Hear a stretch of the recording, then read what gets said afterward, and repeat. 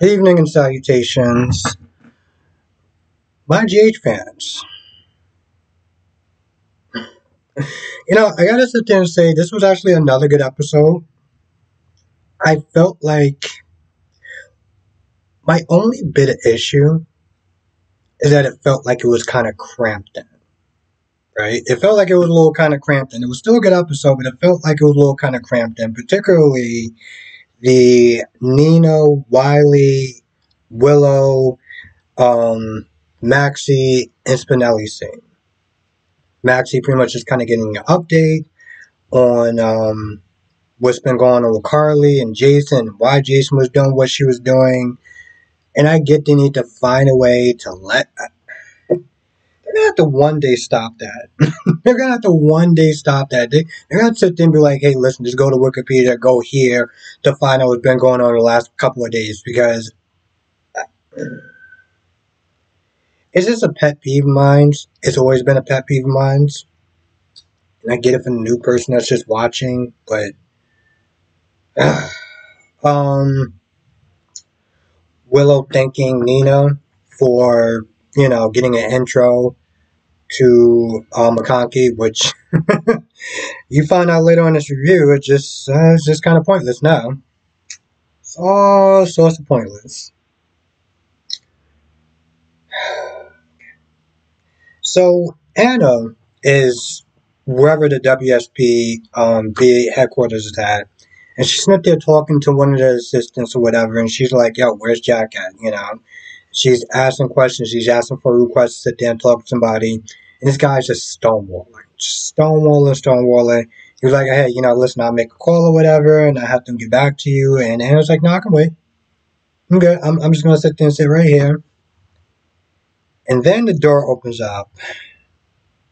And there he is, Jack. Just hanging out, being like, hey, what are you doing here, pretty much? Now, Dante was also sitting there calling the hotel. Because I think at one point Jack was staying there, which was going to probably sit there and say that they had no records there either. So Anna comes in there, and it's like, oh, so not only you out of jail, but you are practically just kind of you know, once again running the show. And so she connects the dots about how she how he got out. Um, you watch the episode for that, but she pretty much kind of just nails it to a T. Now, John Jack, whatever the hell his name is, doesn't exactly confirm it. He's just like, well, I mean, it's, it's, it's instinct theory.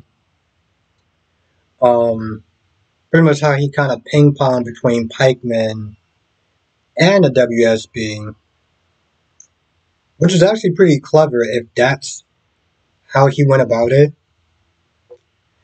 But Anna does sit there and say, So what do you got on John? And just lets him know, hey, listen, this guy has been going rogue. He actually came out to a friend of yours, you know, Carly Spencer, aka Car. I'm never going to sit there and get used to Spencer. I'm always going to call her Corinthos, but. Um, so you talk about that for a little bit. And then the, well, the court case is about to start, right? And of course, Michael stops Sonny from, you know, laying hands on him and, um, you know, just kind of just walks him away. Molly is still dealing with him. You know, John is like, you know, you're stonewalling this, that, and the third. And once again, Molly, with her newly found backbone, just sit there reading this man his rights pretty much. And it's just like, hey, you know, at the end of the day, you want those records? make a make a formal request. There was a point where she Smith even calling him out on his abuse of power and being like, "Hey, listen, what's what's going on with you? Don't you have anything that's going on? Like, you seem like you're just coming after him for for personal reasons." And John is like, "Hey, listen, we've been investigating for years. We've been investigating this guy for years." So Molly's like, "Well, if that's the case, then what do you what do you need me for?" Like, like, what do you need my stuff for? You, you, you already got everything that you need. Apparently, you just been sent this thing. You've been investigating for years. So, what's the problem? So eventually, she walks off. This guy comes in, this prosecutor, whatever his name is. Um.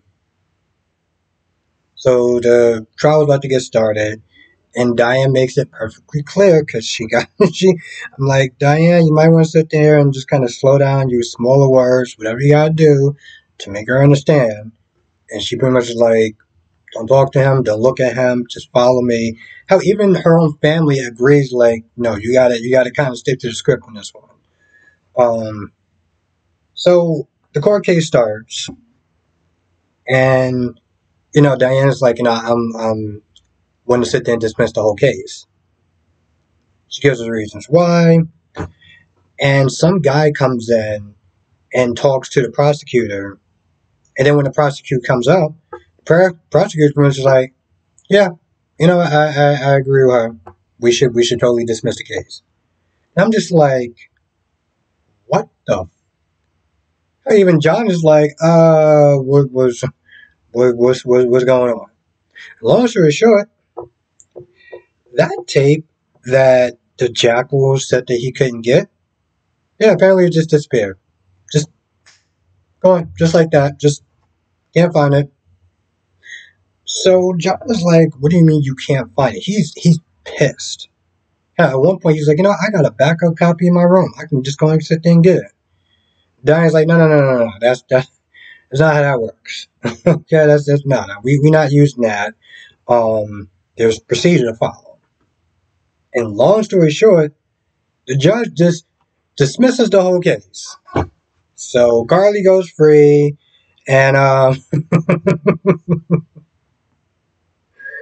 what the? uh, once again, Carly goes free, untouched. Consequences.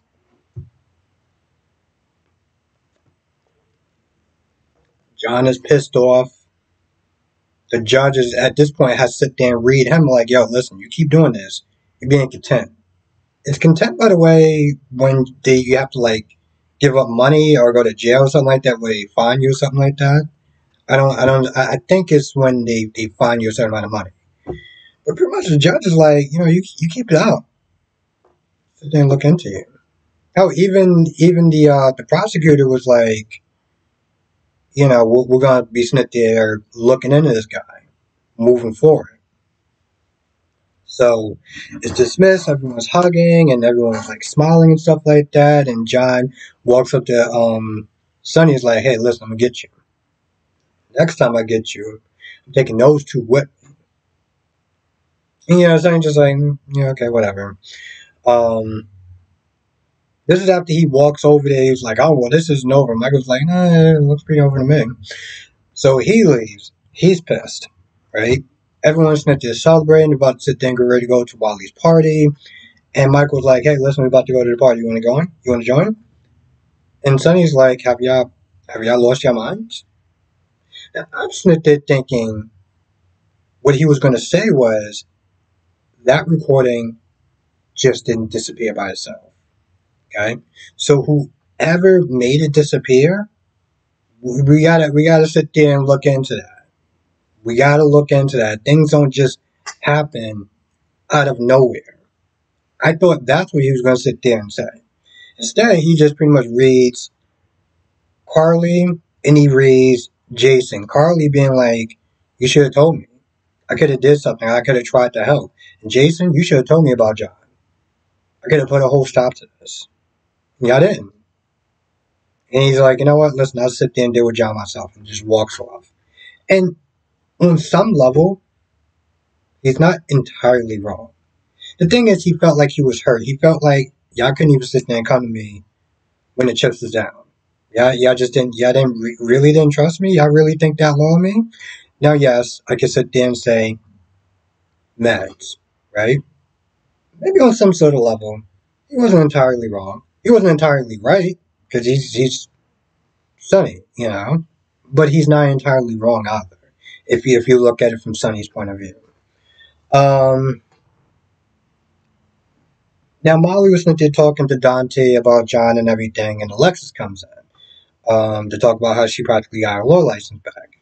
Molly and Alexis talk about the whole Kristina thing. And what Alexis winds up doing is now she's making now she's playing peacekeeper for Kristina, just like she did with Molly. She's it telling, I mean, yeah, she's not it telling Molly, you need to sit there and shut up. You need to back off Because the more you sit there and keep pushing, the more she's going to sit there and keep digging the heels in. Then she talks about how the hormones or whatever is making her act kind of crazy. But in the end, she's going to sit there and, and kind of, you know, keep her promise.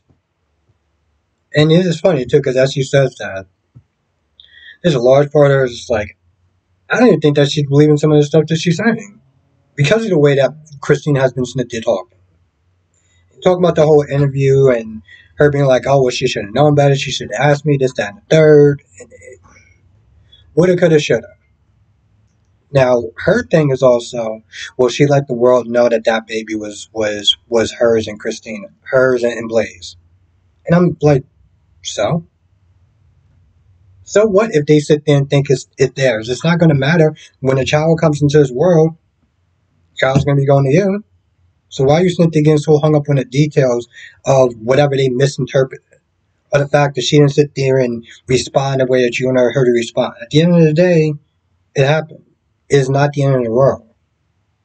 And that's practically what she sit there and tells her.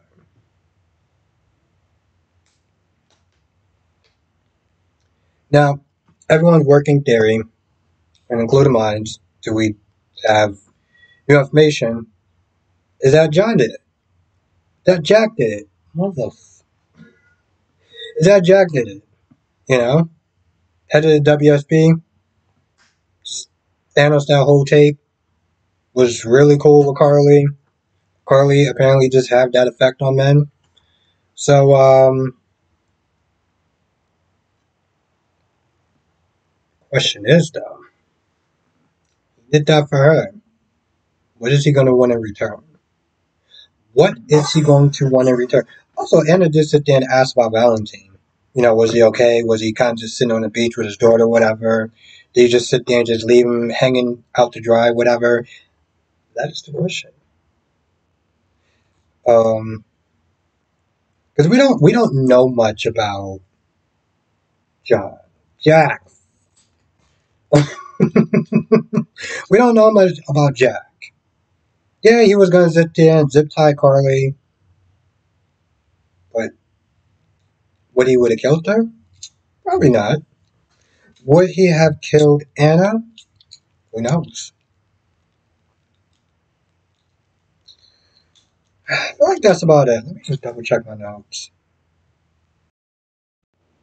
It was kind of funny that James did sound like a little mini Spinelli when he said greetings and salutations, which is something that I use. I, apparently, I didn't actually pick it up from him. I, picked it up from another YouTuber. Um, yeah, like I said, Maxie and Spinelli were just more exposition than anything else. Now, I can't think of anything else. If I forgot anything, which I'm pretty sure I did, uh, write it in the comment section. Yet, come to the live stream tonight, 8 p.m. Eastern, 5 p.m. Pacific. We'll talk about all the shows, General Hospital, Days of Our Lives, Beautiful, and Young and Restless. With that being said, I'm going to go. I'll see you in the next video.